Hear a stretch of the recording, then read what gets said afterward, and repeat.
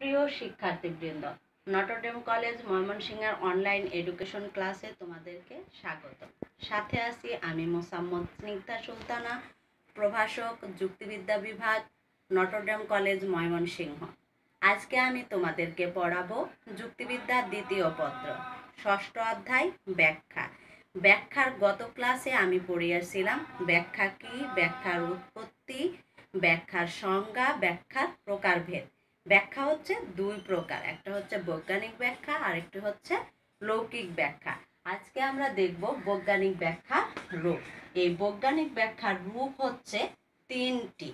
একটা হচ্ছে বিশ্লেষণ, দুই হচ্ছে শৃঙ্খল যোজন, তিন হচ্ছে অন্তর্ভুক্তি। এখন আমরা জানার চেষ্টা করি বিশ্লেষণ কি? বিশ্লেষণ বলা হচ্ছে যে বৈজ্ঞানিক ব্যাখ্যায় কোনো মিশ্র কার্যকে স্বতন্ত্র কারণসমূহের নিয়মের সাথে যুক্ত করা হয়, তাকে বিশ্লেষণ বলে। মিশ্র কার্য। মিশ্র কার্য হচ্ছে কতকগুলো স্বতন্ত্র কার্য একত্রিত হয়ে মিশ্র কার্য তৈরি করে। আর স্বতন্ত্র কারণ হচ্ছে যে এই যে কার্য, এই মিশ্র কার্যের আলাদা আলাদা কারণ। এই কারণ আর কার্য যখন একত্রিত হয়, তখন তাকে বলা হচ্ছে বিশ্লেষণ। যেমন, নদীতে চলমান নৌকার গতি হচ্ছে একটা মিশ্র কার্য।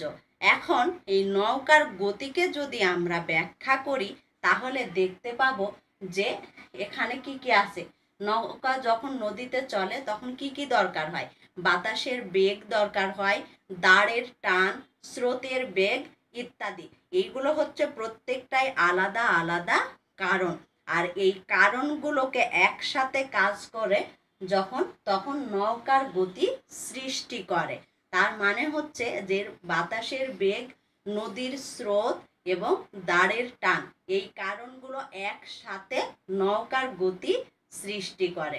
তাহলে এখানে নৌকার গতি হচ্ছে একটা মিশ্র কার্য। তারপরে আছে শৃঙ্খল যোজন। শৃঙ্খল যোজনে বলা হচ্ছে যে বৈজ্ঞানিক ব্যাখ্যায় কোনো দূরবর্তী কারণ ও তার কার্যের মধ্যে একটি মধ্যবর্তী অবস্থা আবিষ্কার করা হয়, তাকে শৃঙ্খল যোজন বলে। যে বৈজ্ঞানিক ব্যাখ্যায় কোনো দূরবর্তী কারণ দূরবর্তী কারণ হচ্ছে একটু দূরের কারণ ও তার কার্য। তার মানে কারণ আগে থাকে, কার্য পরে থাকে। এটা আমরা আগেই জানি যে কারণ আগে থাকে এবং কার্য পরে থাকে। তাহলে এই কারণ আর কার্যের মধ্যবর্তী একটা অবস্থা আছে। সেটাকে যখন আমরা আবিষ্কার করব, তখন তাকে বলা হচ্ছে শৃঙ্খল যোজন। যেমন ভালো বৃষ্টিপাতকে বলা হচ্ছে সমৃদ্ধির কারণ। এখন আমরা কি জানি? ভালো বৃষ্টিপাত হলেই কি সমৃদ্ধি হয়? সরাসরি সমৃদ্ধিতে আমরা যেতে পারি? না পারি না। তাহলে সেই ক্ষেত্রে কি হয়? ভালো বৃষ্টি হলে ভালো ফসল জন্মায়। আর ভালো ফসল যখন জন্মায়, তখন কি হয়? উৎপাদন ভালো হয়। উৎপাদন ভালো হলে তখন উন্নয়ন কিংবা সমৃদ্ধি আসে। এই ক্ষেত্রে আমরা কি দেখতে পাচ্ছি? যে দূরবর্তী কারণ হচ্ছে ভালো বৃষ্টিপাত আর সমৃদ্ধি হচ্ছে কার্য আর এর মধ্যবর্তী অবস্থা হচ্ছে ভালো ফসল। তাহলে এই ক্ষেত্রে আমরা দেখতে পাচ্ছি যে দূরবর্তী কারণের ক্ষেত্রে ভালো ফসল মধ্যবর্তী অবস্থা সৃষ্টি করে যা ভালো বৃষ্টি আর সমৃদ্ধির মধ্যে শৃঙ্খল যোজন করে। তারপরে আছে কি? অন্তর্ভুক্তি। এই অন্তর্ভুক্তির ক্ষেত্রে বলা হচ্ছে যে বৈজ্ঞানিক ব্যাখ্যায় একটি কম ব্যাপক নিয়মকে একটি বেশি ব্যাপক নিয়মের অধীনে আনয়ন করা হয়, তাকে অন্তর্ভুক্তি বলে। একটি কম ব্যাপক নিয়ম, ব্যাপক সার্বিক এবং বিশেষের বেলাতে আমরা পড়েছি সার্বিক হচ্ছে সমগ্র আর বিশেষ হচ্ছে কি? আংশিক। তাহলে এই কম ব্যাপক নিয়ম মানে আংশিক নিয়মকে যখন আমরা সার্বিক বেশি ব্যাপক নিয়মের অধীনে আনয়ন করব, তখন তাকে বলা হচ্ছে অন্তর্ভুক্তি। যেমন, জোয়ার ভাটাকে যদি আমরা ব্যাখ্যা করতে যাই, তাহলে কি করব? মাধ্যাকর্ষণ নিয়মের অন্তর্ভুক্ত করি। তার কারণ হচ্ছে, মাধ্যাকর্ষণ নিয়ম একটা সার্বিক নিয়ম।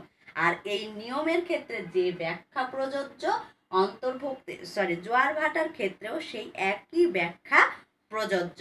আর এই ক্ষেত্রেই বলা হচ্ছে যে অন্তর্ভুক্তি করতে হলে আমাদের অবশ্যই কম ব্যাপক নিয়মকে একটা বেশি ব্যাপক নিয়মের অধীনে আনতে হবে। প্রিয় শিক্ষার্থীরা, দেখো, এখানে আমি যেটা দেখানোর চেষ্টা করলাম সেটা হচ্ছে বৈজ্ঞানিক ব্যাখ্যার তিনটি রূপ।